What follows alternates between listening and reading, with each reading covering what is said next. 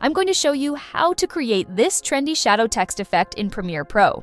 Start by typing out your text, break each word into its own text layer, and stack them in your timeline so that each word is on a separate video track. This setup is essential for the shadow effect to work seamlessly. Now, let's create the shadow mask. Select the second text layer in your timeline and navigate to the Rectangle Mask tool under the Effects Controls panel Position the mask so it covers only the section where this text overlaps with the one below it. Adjust it carefully for precise alignment. Once you've positioned the mask, increase the feather setting to create a smooth, blended look. This will soften the edges of the shadow, making the effect more polished. Now, select Invert Mask, and there you have it. Your shadow effect is starting to take shape. Repeat this process for all text layers, except the first one. Each new layer gets its own mask and inverted effect to maintain the illusion.